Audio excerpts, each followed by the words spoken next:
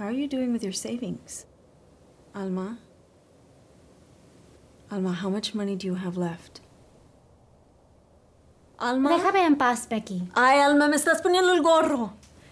I can't, I can't handle you anymore. You have not left this house in over a year, and all you do is mope around in that fucking bathrobe all day, and you do nothing, and it's absolutely depressing. And when I get home, I have to take care of everything. I have to cook, I have to clean, I have to wash dishes. Alma, I am not supposed to do that because I am not your caretaker. I am your sister.